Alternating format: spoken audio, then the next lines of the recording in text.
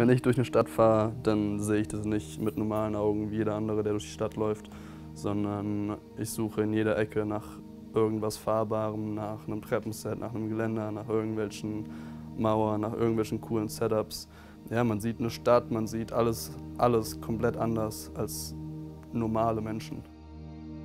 Mein Vater war schon immer ein großer Mountainbike-Fan und äh, ich habe schon relativ früh mein erstes Fahrrad bekommen und war direkt angefixt und äh, von da an gab es kein Zurück mehr. Ich habe zuerst so ein 12 Zoll Puki-Rad bekommen, dann Mountainbike, bin Mountainbike-Rennen gefahren und habe irgendwann zu Weihnachten ein BMX-Rad bekommen und seitdem äh, wollte ich nie wieder was anderes machen.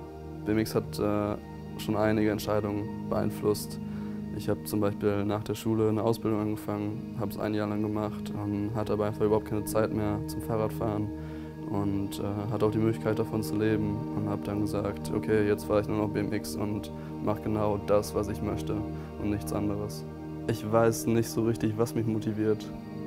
Ich äh, hatte noch nie einen Tag in meinem Leben, seitdem ich BMX fahre, wo ich aufgewacht bin, habe gesagt, okay, heute habe ich keinen Bock zu fahren, sondern das Gefühl, wenn man stundenlang für einen Clip am Arbeiten ist und den dann endlich schafft, ist das beste Gefühl, was man überhaupt haben kann. Das ist so der Grund, wieso man BMX fährt, den Moment immer und immer wieder zu erleben.